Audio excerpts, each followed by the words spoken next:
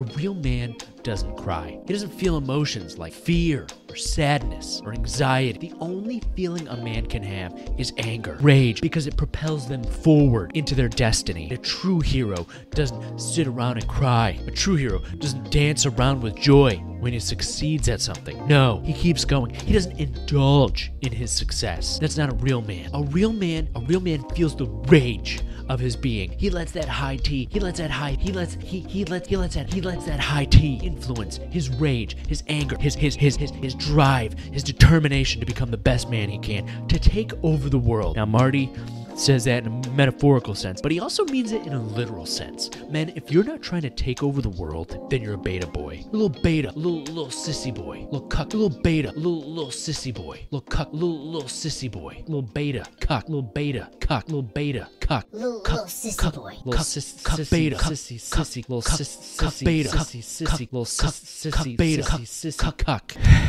What Marty's trying to say is that any man who cries is not a real man. Hold back your tears. Oh, Marty, but what happens when I feel sad? The fact that you've allowed yourself to feel sad means that you are a beta. A man should be stoic. He should be a sculpture made out of marble, stone, bullets, swords, arrows. They don't faze him. He doesn't even allow himself to feel a thing because he's he's so hard. The ma- a man of stone is so hard. He's so hard all the time that nothing else can get through him.